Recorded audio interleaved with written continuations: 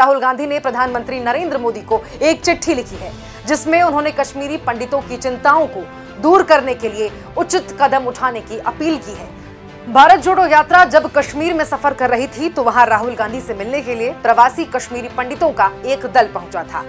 राहुल गांधी से मुलाकात में उन्होंने बताया था कि जम्मू कश्मीर में टारगेट किलिंग के बीच कश्मीरी पंडितों को घाटी में लौटकर काम करने के लिए मजबूर किया जा रहा है। पिछले छह महीने से धरना पे बैठे हैं पहले आप ज्वाइन कीजिए वहाँ पे तब आपको सैलरी नहीं आप us. The name of Kashmiri Pandit. Only when election comes, they get to they get they get activated regarding Kashmiri जो काम कांग्रेस ने किया वो दिखा रहे हमने किया है। कुछ नहीं किया उन्होंने एक रुपए का काम नहीं किया। जो फ़ूड ग्रेन्स मिलते हैं इन्होंने वो तक बंद कर दिया हमारा।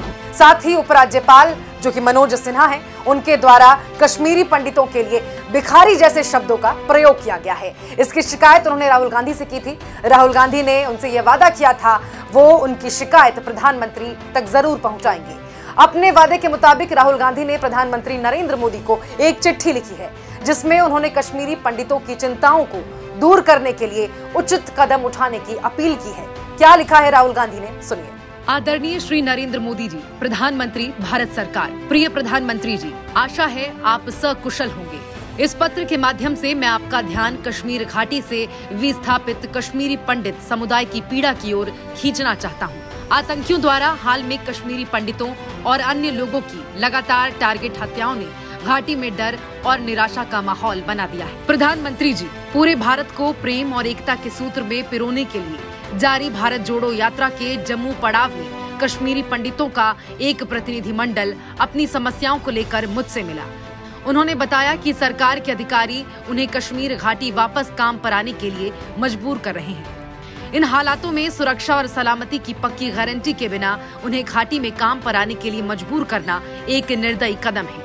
हालात के सुधरने और सामान्य होने तक सरकार इन कश्मीरी पंडित कर्मचारियों से अन्य प्रशासकीय और जन सुविधा के कार्यों में सेवाएँ ले सकती है।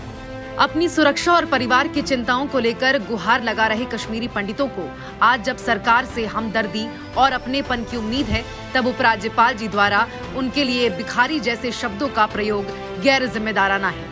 प्रधानमंत्री जी, शायद आप स्थानीय प्रशासन की इस असंवेदनशील शैली से परिचित न हो। मैंने कश्मीरी पंडित भाई बहनों को भरोसा दिया है कि उनकी चिंताओं और मांगों को आप तक पहुँचाने का पूरा प्रयास करूँगा।